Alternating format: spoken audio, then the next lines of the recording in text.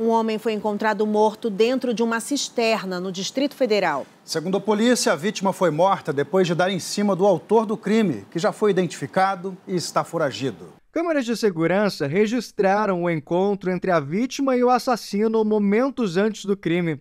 De camisa azul, Júnior Nascimento, de 24 anos, foi visto conversando com João Mendes, que em vários momentos tentava se afastar.